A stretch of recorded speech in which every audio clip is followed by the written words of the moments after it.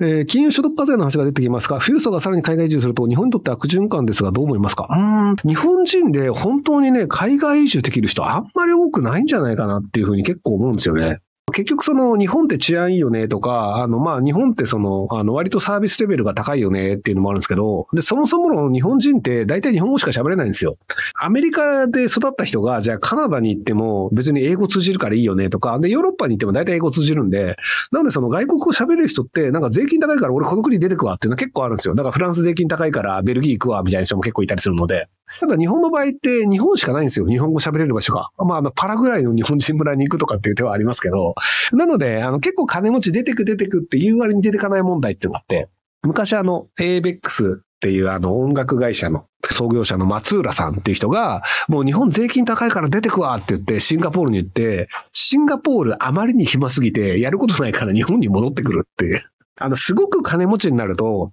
例えば年間に10億円稼いだとして、で、それが税金で5億円持ってかれたとしても、手元に5億円残るんですよ。じゃあ、毎年5億円使うの？って考えると、そんな使わないんですよ。もちろんシンガポールに行ったらさ、10億円丸々入るかもしれない。でも日本だと5億円しか使えない。じゃあ5億円損じゃん。ただ、毎年5億円も使ってないでしょ？ってなると、別に毎年じゃあ3億ぐらいしか使わないってなると、じゃあ治安も良くて飯もうまくて、なんか釣りに行って楽しいねっていう日本で3億円を使ってる方が良くねっていうことになって、結果として日本で暮らすっていう今も松浦さん日本に住んでると思うんですけど、っていうのがあったりするので、なので海外に行って、そのなんか楽しめる割合は、日本人はそんなに高くないんじゃないかなと思うんですよね。まあ、あとよくあるパターンとして、チヤホヤしてほしいっていう人がいるんですよ。ある程度のその金持ちになったり知名度の高い人になると、その日本でなんかお店とかレストランとか行った時も、あ、何々さんですよ、こちらどうぞとかでなんか個室に行ったりするかもしれないけど、なんか外国にいるとなんか汚ねちっちゃいアジア人だなみたいな扱いしか受けないんですよ。そのチヤホヤされない感とか、あとまあそのまあ、日本で優秀な、まあ、結果を出してると、やっぱりその飯食う人とかも優秀だったり面白い人だったりとか、じゃあタレントさんとかなんかこう有名 YouTuber とか飯が食えますとか、やっぱり刺激的な人と会う機会って多いんですけど、まあ、単なる旅行者ですとかになると、どうでもいいアジア人でしかないので、そうするとチヤホヤもないし面白い経験もなかったりするので、なのでやっぱりその自分のその、あの価値が最大限使えるというのは日本だよね。なんか何々さんでございっていうのは日本だとできるので、なのでその海外に住むより日本でチヤホヤされた方が幸せだよねっていう感じの人は結構多いと思うんですよね。結局だから、海外に行って、その幸せそうにしてる人っていうので、男性ってあんまり聞かないんですよね。女性の場合に、その海外在住の人と結婚して、うまくやってますっていうパターンの人っていうのが、ヨーロッパはちょこちょこ見るんですけど、あの、後藤久美子さんとか、元アナウンサーの方とか、外国人の男性と結婚することによってその国に住みました。で、その外国人の男性は、その国では有名人です。なので、その有名人の奥さんとして、その国でもチヤホヤされるんですよ。なので、日本に行っても、その外国に行ってもチヤホヤされるっていう、どっちでもチヤホヤされるから、じゃあ、こっちの外国でもいいよねってなるんですけど、男性で外国行きましたっていう、その、まあ、松浦さんだったり、僕みたいなパターンだと、あと、その、オリエンタルラジオの中田さんがシンガポールに行った場合とか、っていうのは、別になんか、中田さんもシンガポールでチヤホヤされないし、僕もフランスでもチヤホヤされないし、で、松浦さんも多分シンガポールでチヤホヤされなかったんだと思うんですよね。なので、別にチヤホヤされんよねっていうので、まあ、それでいいよねっていう人と、なんかこれだとここにいてもそんなに面白くないよねってなってしまうパターン。ガクトさんもマレーシアだっけ？っていうので、割とだからその外国に行ってもそのチヤホヤされないっていうあ、で、辻人生さんは普通に暮らしてます。フランスで。あの人もアーティストでものづくり大好きな人なので、ものを発表して出したりは好きなんだけど、でも別になんか日本的なチヤホヤを望んでるわけではないっていうことなんじゃないかなと思います。はい。だからあんまりいないよね。男性で外国に行って、なんかまあ日本だとすごいチヤホヤされるけど、外国に行って幸せになってますっていう人って。だからそういう意味でいくと、やっぱりなんかあんまり多くないのかなっていう気がするんですよね。海外に行って、こうなんか楽しいですってそう、あのね、仲間と一緒に遊ぶのが好きなタイプの人ダメなんですよ。じゃあ、六本木界隈とか西麻布界隈とかに、こうみんなで繰り出してお酒飲んで、イエーイ楽しいぜっていうのが好きな人って、外国に行くと無理なんで、そんな仲間なんかいねえしみたいな、家族しかいねえしみたいなっていうのがあったりするので、なのでそういうのが楽しいっていう人はなんか、あの、日本じゃないと厳しいんじゃないかなと。あ、いたいた。一人いましたね。外国でうまくいってる人。小田裕二さん。コメントどっかにあったけど。あと、ヨシキさんアメリカですね。ヨシキさんとか小田裕二さんとかは、多分その、あの、日本でチヤホヤされるよりも、その静かな環境で自分のやりたいことをやりたいっていう。あ、この大谷翔平さんは別にあの、どこに住んでもいいじゃなくて、それはあの、メジャーリーグという職場がアメリカなので、職場で働いてるっていう。なので、あの、ここであの、アメリカの会社で働いてる人というのはまた別です。いや、そこは仕事があるから言ってるだけで、では、富裕層なり、その知名度のある人で、どこで住んでどこで働いてもいいよねという人が、どこを選びますかという話なので、なので、日本の会社で働いてる人は日本にいる。で、アメリカの会社で働いてる人はアメリカにいる。だからメジャーリーグで働いてる人はメジャーリーグならアメリカに行く。なので、あの、NBA で働いてる日本人のバスケットボールプレイヤーの八村塁さん、日本人だよね、八村塁さんって国籍。もう、あの、アメリカで働いてるだけで、別にあの、じゃあ八村塁さんが俺フランスに行くわって言ったら NBA 辞めなきゃいけないじゃないですか。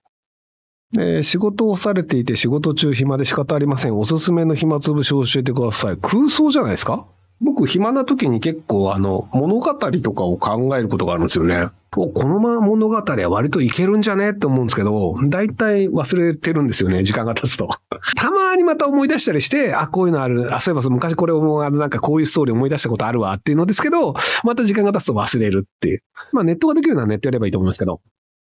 10歳以上年上の女性と普通に友人として使えますか？はい。私は自分が20代の時に50代の先輩女性社員と話すのが苦手だったので、年下女性の気持ちは想像できますが、今 SNS 等でババアとダバとしての男性です。なぜか推測できますか？えー、男性は年上女性が嫌いですか？ややずうしい時間かかりますか？他人を傷つけない常に必要です。えっと、年上女性が嫌いな男性もいます。でも、気にしない人もいます。要はその、年上が女性が嫌いな人もいれば、年下女性が嫌いな人もいるし、同年代が嫌いな人もいるし、いろんな人が嫌いな人は世の中いるんですよ。日本って5000万人以上あの日本人いるので、まあツイッターのユーザーでいくと2000万人ぐらいいるのかな？なので別にそういう人がいるよねという話で、でもじゃあ目の前にいるその相手はどうなのかというとまた違う話だと思うんですよ。あのね、10人トイレがね、やっぱ若いうちにちゃんと理解できた方がいいと思うんですよね。例えば、あの、某ライブダーという会社を作ってお金持ちになった堀江さんは、あの、趣味で熟女 AV を結構見ていて、確か熟女 AV のね、レビューかなんかの仕事もやってたはずなんだよね。っていうので、だから年上が好きっていう人も全然いると思うので、その、あの、年下好きの人もいると思うんだけど、熟女好きの人もいるっていう、はい。えー、ほぼ音信不通だった弟から結婚出産を機に親に連絡が来るようになりました。いろいろ助け欲しいと思ったんですが、逆に全ての社会保険を症状なくしたら、老後の面倒を見てもらうために出産とか子育て手伝ほしいから親親戚と交流を復活して、出産に合理性が発生することによる所有化解決になるんじゃないかな。どうなんですかね。で結局、今の少子化がなぜ起きているかというと、子供を産むのが負担だから子供を産まないという選択をするになってしまうんですよ。子供のを産むことによって、その家族の絆がとか、家族に助けてもらえた方がいいよねとかっていう、そんでその老後負担がないから、じゃあ子供を産んで子供にこう、あの、なんか自分のロゴを何とかしてもらおうっていうので多分こう提案されてると思うんですけど、子供を産まないで自分の生活費を貯金した方がいいよねっていう形に今の日本人はなってるので、なので、あの、福祉をなくすと余計に少子化は悪化するんじゃないかなと思います。前職は障害者雇用枠として約6年間働いていました。転職先は一般採用枠として任務で働きます。中度知的障害として療養育手帳、障害年金会社に報告すから隠すか、本当に何でも白くさん助けてください。別に一般採用なら言わなくていいんじゃないですかなんで言う必要があると思うのかよくわかんないです。そうそうそう。あのね、これね、さっきの話で誤解してる人いるかもしれないですけど、あの、堀江さんは熟女も好きです。まあ、探せばわかると思うんですけど、堀江さんだ、男性もいける 側なので、なので、あの、堀江さんは年上だけが好きなわけじゃなくて、年上も年下も男性もいけるっていう人類愛、あの、万人に対しての愛情を振りまく、あの、すごくアガペーの強い愛情豊かな方なので、そこはあの誤解のないようにしなければいいんじゃないかなと思います。はい。そう、ストライクゾーンが広いんですよ。いや、で、だから、ストライクゾーン広いのはいいことでしょ？ストライクゾーン広いって褒め言葉じゃないのかな？なんかその趣味がめちゃめちゃ細い人、だからその年上嫌いだとかさ、なんか同年代じゃけダメだとか、年下がダメだとかより、なんかそのストライクゾーンが広いとかさ、オールラウンダーとかの方がさ、どんな人にも愛情が持てるっていう、むしろ人としては器が広い博愛主義者であるって、これ評価される話じゃないの？そうそう。だ言うてもやっぱね、性域まではね、人は変えられないんですよ。だから、俺博愛主義者だよとか口で言うやついるけど、じゃあお前、おっさん相手にいけんのかよって言われたら、いやいやいやってなるんですけど、博愛主義者の堀江さんは、おっさん相手でもいけるんですよ。だからそういう意味でいくと、やっぱすげえなっ。雑食言うなよ。そこが愛ですよ。愛情ですよ。だから、ど、どんな相手に対しても、その、まあ、友情はあっても僕愛情はやっぱ同性に対してはないんですけど、でも、同性に対しても友情だけでなく、愛情をちゃんとこう催すことができるという、愛の溢れる人であるっていう。はい、すいません。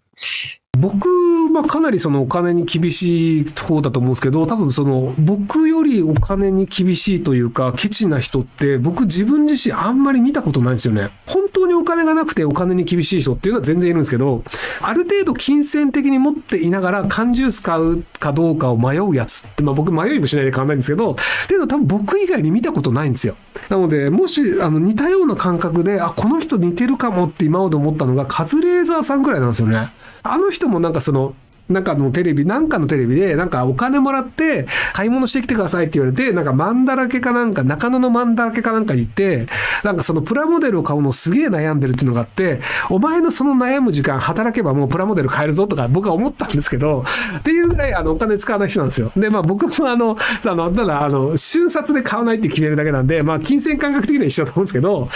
っていうのがあるので、その、基本的にはその僕全くお金使わないんですよ。で、なんでそれがそうなったかっていうと、あの、お金がない状態で育ったんですよね。親、家にはお金があるんですけど、そのお小遣いという概念がうちなくて、なので、あの、普通に他の子が、あの、お小遣いもらって買い食いとかしてる時も、僕お金も持ってなかったので、お金がない状態が当たり前だったんですよ。なので、あの、小学生時代とか中学生とかって、買い食いってしたことないんですよね。っていうのがあったりするので、なので、そこでお金がない状態でどう暮らすかっていうのができてたので、なので別にお金なくても大丈夫だよねっていうので、ずっと育っちゃったので、そのお金使わなくても何の問題もないよねっていう。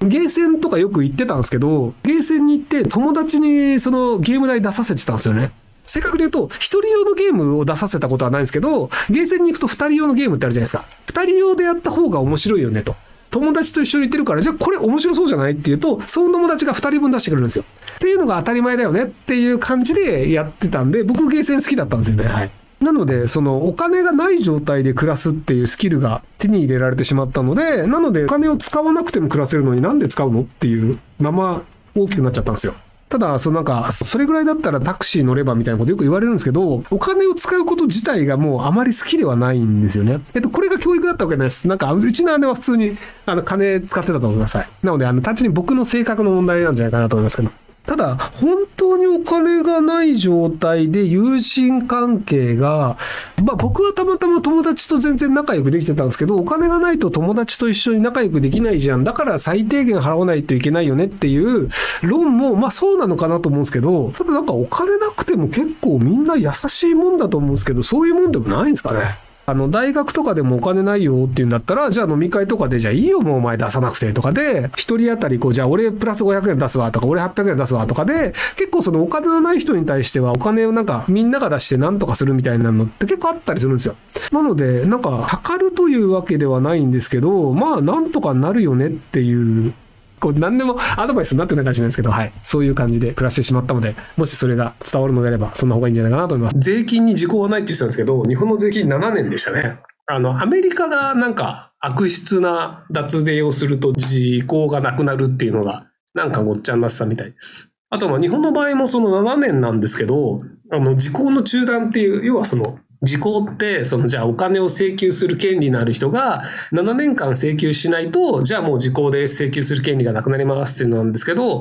日本の場合だとなんか10年間の間に43回かなんか起訴して、その時効をずっと伸ばし続けて、その脱税した人が結局諦めてお金払ったっていうのもあるらしいので、実質的に時効が中断される可能性があるので、まあ、そういう意味ではその7年で逃げ切れるかっていうとそうでもないんですけど、まあ一応法律上は7年になってますと。